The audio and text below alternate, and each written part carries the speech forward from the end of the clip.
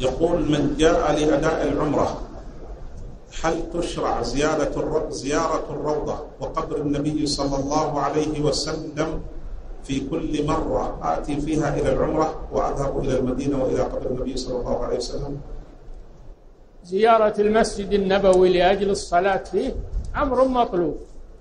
وصل بأي مكان تيسر لك من المسجد النبوي؟ ما هو بلازم في الروضة.